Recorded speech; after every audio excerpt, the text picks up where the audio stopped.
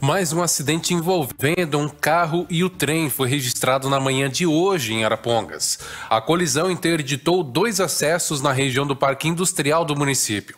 Segundo o relato de uma das testemunhas, um veículo Gol chegou a ser empurrado por alguns metros quando a locomotiva colidiu com o carro.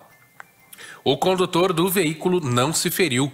O cruzamento da linha férrea com as ruas Pavão e Condor ficaram bloqueados por algum tempo, porém foram rapidamente liberados.